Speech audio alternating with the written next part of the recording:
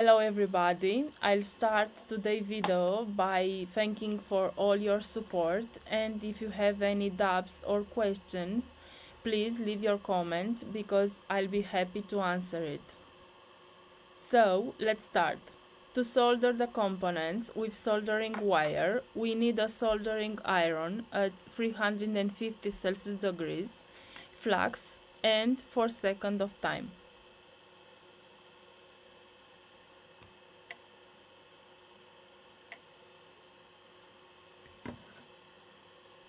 In our workshop, we are using Chip Quik and Amtech soldering paste. And for the solder lead, we have chosen the Kester, a very good quality American brand.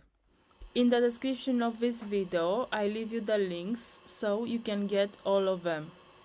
We place the component and with the help of the tip of the solder at 350 Celsius degrees, we solder a pad. When the solder lead melted, the component can be moved and positioned correctly. Do not be afraid if the component is distorted.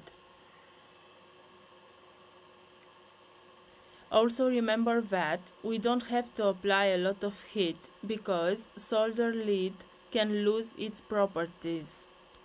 For that, the flux is very important throughout all the process.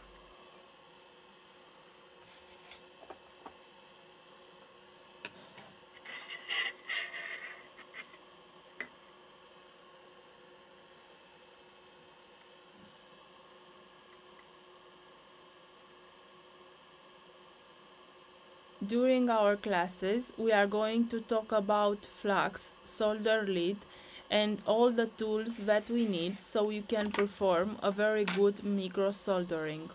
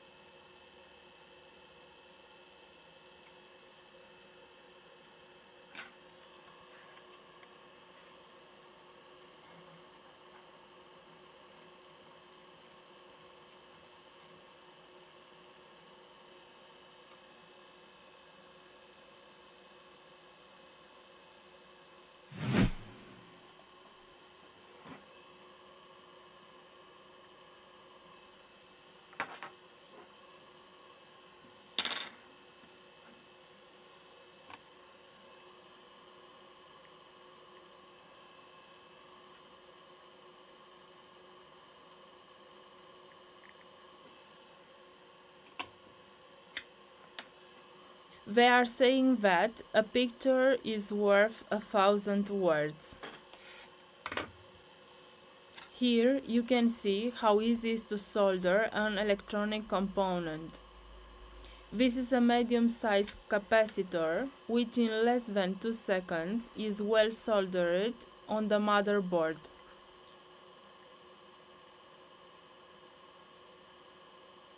In more than one occasion, changing a shorted capacitor can fix a fault and so you can charge a good price for this. For this reason, it's very important to learn how to solder and desolder electronic components. This is practically the future of the repairs.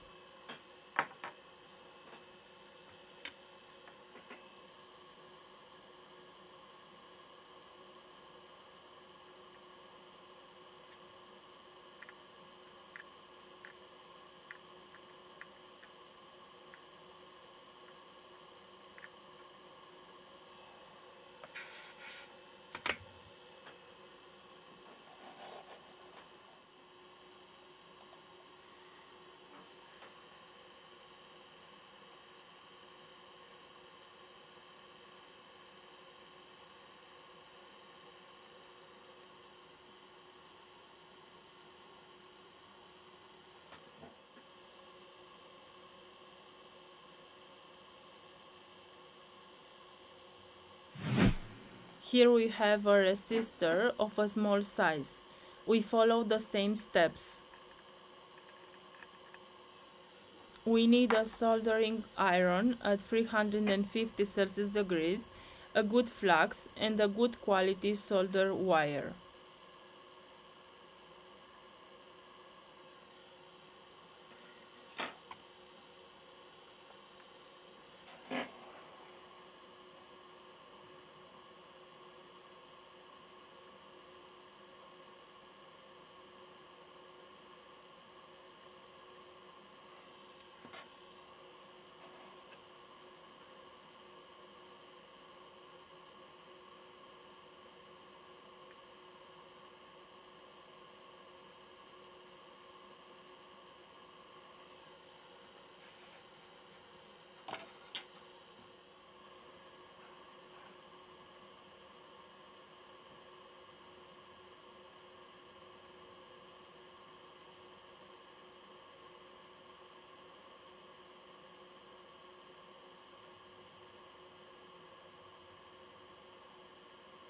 That's all for today. Thank you very much for trusting our channel.